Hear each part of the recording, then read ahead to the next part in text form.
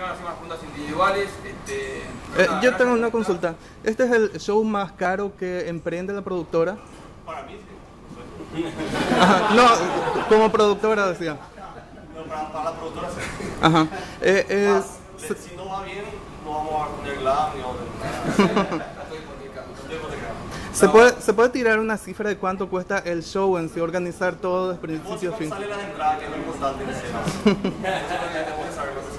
No, pero acuérdate que las entradas a partir del miércoles la preventa en personal en la oficina acá central de, de, de Avenida España, con descuentos de hasta 35% para los clientes de personal, así que la entrada de campo por ejemplo va a salir 95 mil solamente cuando sale 150 mil después, la entrada al sector más caro, que es el, el rock and roll está adelante, que es sale un millón al público, así 800 mil, y así con todos los descuentos, así que nada, aprovechar los beneficios, los descuentos y los clientes puedan comprar lo más barato posible y puedan ir a disfrutar este gran evento internacional.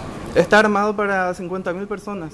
Sí, está armado para esa Vamos a tener esa Ajá. ¿Y la duración del show, eh, ellos dieron detalles de cómo va a ser su show? Lo contó Andrés, son dos, dos horas y media mínimo, solamente se tira entre dos, horas, entre dos horas y media y tres horas va a ser el show.